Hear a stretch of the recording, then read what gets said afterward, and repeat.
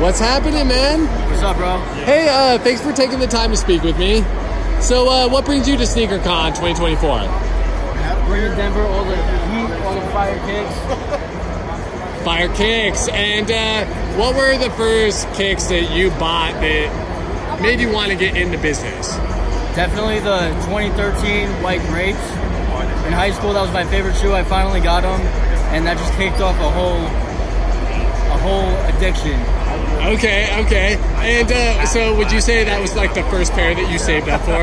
Definitely. I, I worked at Foot Locker, and I was like saving all my paychecks. Finally got them, and then never spend money on anything besides sneakers again. Yeah. All right, love it, man, for sure. Uh, why do you think sneakers are important for community or identity? I think sneakers are cool because they bring everyone together, whether you're into sports, games, music. I feel like sneakers is like the ultimate language. It has something for everybody, and. I love that. The ultimate language, you know, speaking your own identity for sure. Uh, what would you say is like the first shoe that you can remember that you're like, okay, I want to step into something just as comfortable that you can compare to? Comfortable sneaker? Yeah, a comfortable sneaker that like made an impact on your back.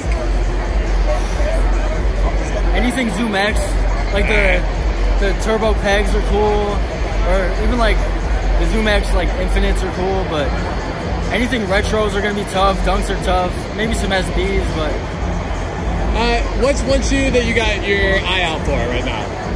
I really want the the Travis Scott SB Dunks. That's like one of my grails. Um, I have everything else I want, so Right on, bro. And uh, what's your company? I work for a store called Doused in Salt Lake City at Fashion Place Mall. Check us out at Doused underscore shop on Instagram.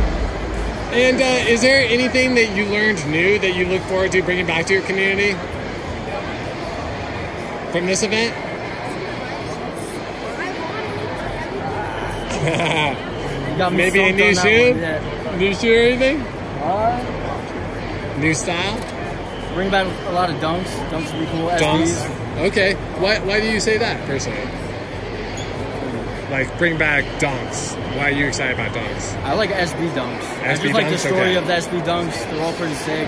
Okay. Regular dunks are cool too, but Gotcha. SB is one of the cool boxes. They all have a story.